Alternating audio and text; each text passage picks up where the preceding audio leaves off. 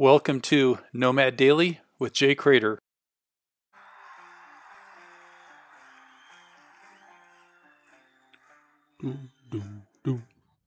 Frampton comes alive.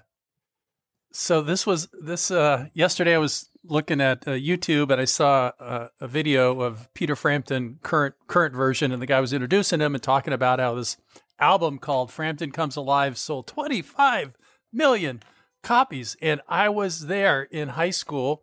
Um, so that's when the album came out when I was in high school in the late 70s, and uh, oh man, my friend and I, we used to get the out. We used the album to strain the, the uh, seeds from the weed, you know, and then uh, and then we would roll roll up a, a, a, joint, smoke it, and then we would listen to that song.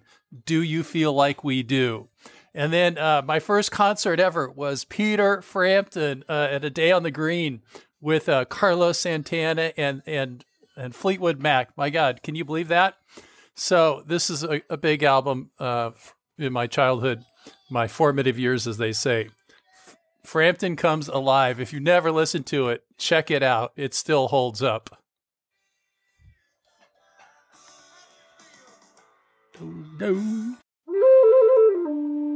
For more information and bonus content, visit nomadjay.com.